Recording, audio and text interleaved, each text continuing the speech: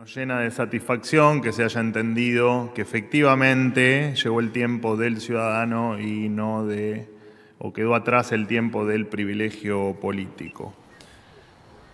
Bueno, allá vamos. Eh, voy a hacer una nota muy especial después de las elecciones acá en el municipio de Tandil, donde se hizo la reunión, la asamblea del Consejo Deliberante, eh, la primera después de las elecciones, donde ya había toda una movida de gente nueva renovando las 10 bancas de las 20 en total que hay. El tema es lo que quiero plantear un poquito es como que la gente vive ajena un poquito lo que es esta realidad, que es la que más define nuestras eh, acciones como ciudadanos. Eh, entonces, si no estamos atentos a lo que pasa acá dentro, dentro del Consejo Deliberante, después nos van a sorprender cosas que diciendo, uy, ¿cómo se hizo esto? ¿Cómo se, no se hace esto? Falta tal cosa. Nos vamos a estar quejando continuamente. Pues resulta que hay varias cosas para tener en cuenta. Me llama la atención de que tanto el Poder Ejecutivo como el Poder Legislativo están en el mismo edificio. Supuestamente son poderes independientes, deberían estar en lugares distintos, porque ¿qué pasa? Uno cuando está trabajando en el Consejo Deliberante, de pronto está en el pasillo, se cruza con el intendente, es como que hay toda una relación de, de afinidad, pero no... Pero no... Hola, ¿qué tal? Pero no sé si corresponde, ¿no? Entonces, quiero averiguar si hay alguna ley que impida que los poderes estén en el mismo edificio, tanto el Poder Judicial, Legislativo y Ejecutivo. Está muy todo. Este edificio es maravilloso, ¿no? Por supuesto. Tandil, en el centenario de su fundación, la Escuela Normal Mixta José de San Martín, Tatatay, síntesis de la historia, bueno, eso para venir con más tiempo. Entonces la idea es, bueno, que acá en el primer piso se encuentra el salón donde los concejales actúan. Vamos a ver, les cuento con alguno. Acá, este es el salón, este que está acá, a mi derecha. No sé si estará abierto, vamos a ver, no creo que esté abierto, obviamente, ¿no? No, está cerrado, ¿sí? Ok. Bueno, espero lo que... Voy a descansar un poco, cansa esto. Me voy a ir a entrar para eh, simular un poquito ser yo un concejal. ¿Qué pasaría si yo fuera concejal y estoy por primera vez... Voy a apagar esto, si no gasta. Si estoy eh, por primera vez en una asamblea y tengo que hablar, ¿no? Pero en esa primera asamblea me proponen un tema para debatir que es y votar, que es sobre el famoso hotel de convenciones que van a poner donde está el terreno de vialidad. Artículo primero, autorices al Departamento Ejecutivo a aceptar la única oferta presentada por la firma Aura Inversiones Sociedad Anónima, Infinia Construcciones Sociedad Anónima, UT, en la licitación pública número 15 del 1 al 23, enajenación a título oneroso del inmueble de vialidad municipal, con destino complejo comercial, centro de convenciones y usos complementarios en la ciudad de Tandil, segundo llamado, por el monto de 4.217.476 dólares estadounidenses con 50 centavos. Eh, en esta primera asamblea tratan ese tema que, muy bien dijeron, es muy importante tal vez una de las obras más importantes de los últimos años. Esta consideración tiene la palabra el concejal Mario Civalieri. Celebrar la oportunidad eh, de poder eh, adjudicar una oferta que representa un proyecto largamente esperado, no solo por el gobierno, por muchas instituciones de la ciudad, un proyecto que va a generar una, una dinámica en términos económicos que a nadie escapa. Entonces yo como concejal, primero, ¿qué haría? Haría una simple observación de las cosas que cambiaría el sistema que justamente está encastrado entre los poderes, entre eh, la, prensa y quién te dice algún empresario por ahí. Lo primero que le dije en la comisión es que nuestro bloque nunca va a estar en contra de la generación de nuevos empleos, nunca va a estar en contra de fomentar el turismo y por supuesto eh, que siempre vamos a apoyar todo lo referido a mayor trabajo y mayor producción. Eh, y ya sé que no lo piensa así, lo digo solo para recalcarlo. Yo no creo que este sea un proyecto del gobierno, creo que esto es un proyecto de Tandil, entonces diría, a ver, bueno, acá estamos en, el, la primera asamblea, les agradezco mucho la recepción, fue muy amable todo, pero tengo las cuestiones que creo que voy a plantear hoy y lo voy a plantear todos los días que yo venga a esta sesión, que creo que habría que cambiar. Como buen liberal, propondría cambios, porque si no hay cambios, entonces, ¿qué tengo de liberal? Nada. Hace cuatro días que asumí la banca como concejal y la verdad es que no he podido estudiar el proyecto como corresponde. Pero a pesar de que en 2014 cuando se trató yo estaba en este consejo, pero eran, eran distintas circunstancias. También en, ese, en esa oportunidad la palabra se respetaba. Por lo que veo, acá ha cambiado las cosas. Se había hablado que se iba a tratar este expediente el día 29 y no pasó eso. Otra cosa llamativa fue ayer que el expediente cuando lo empezamos a tratar en la labor parlamentaria no estaba firmado. O casualidad, hoy a la mañana, cinco minutos antes de empezar la sesión, el expediente está firmado con dos firmas. Pero bueno, tienen la mayoría. Se ve que se van a manejar así. Lo que me llama la atención es, bueno, señor, por ejemplo, señor presidente Frolic, si no me equivoco, está cerca de 20 años en el puesto y, no cambió. O sea que, ¿qué posibilidades hay de reforma, de, formas de pensar distintas, de, de crecer en algo diferente y mejor? Si está hace 20 años. Entonces yo diría que, no por salud, ¿no? ojalá que tenga buena salud siempre, pero eh, tal vez por conciencia, diga, dejo el puesto de presidente para eh, darle un cambio, un aire nuevo a este Consejo Deliberante. Entonces eso es lo que yo voy a proponer todos los días que esté acá. Nosotros estamos vendiendo una tierra, pero le estamos diciendo al comprador qué es lo que tiene que construir. Y no es tan fácil encontrar ese match. Si nosotros quisiéramos literalmente hacer plata, lo hubiéramos loteado y lo hubiéramos vendido para vivienda, porque fíjense en qué zona está eso. Sin embargo, no es ese el objetivo del Ejecutivo ni de los concejales que en su momento apoyaron este proyecto. Y en aquel momento se dijo, no va a haber 20 oferentes, tal vez haya 3 o 4.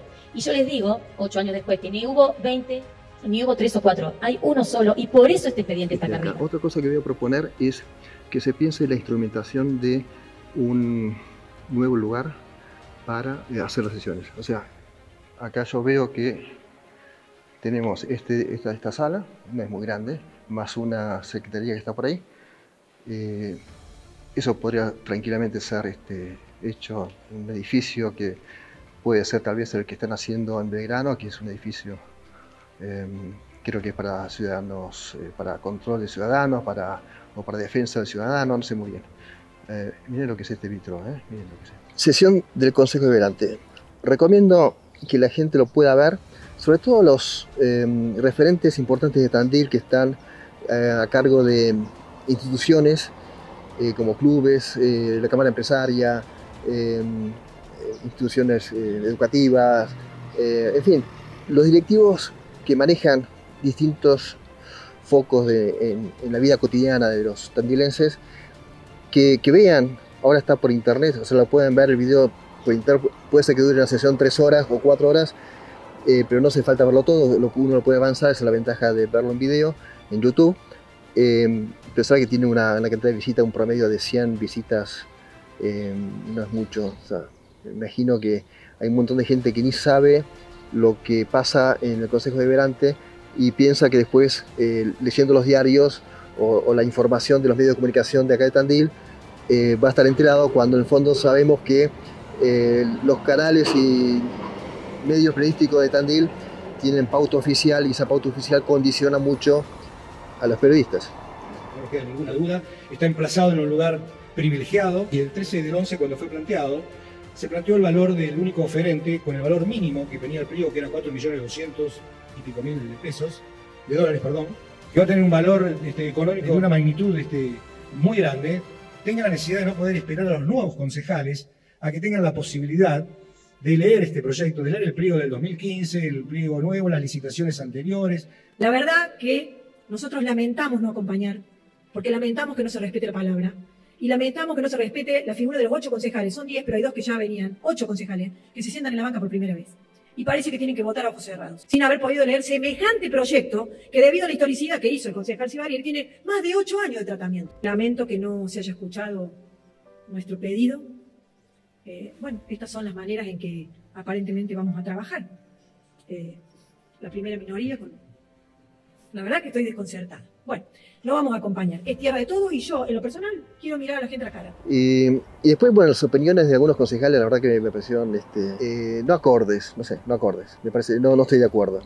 El hecho de que el concejal Mario Sivalieri estuviera casi 20 minutos hablando seguido y más otros minutos más que habló al final y dando una sugerencia a los periodistas que estaban ahí diciendo, bueno... Claramente el título debería ser que hay un enorme consenso de los 20 concejales respecto de la ejecución del centro de convenciones. Creo que ese título es el título del día. Me pareció algo totalmente desubicado. Y eh, también tengo que hablar de los los dos nuevos concejales de eh, Acción Tandilense y La Libertad Avanza, que están unidos, ¿no?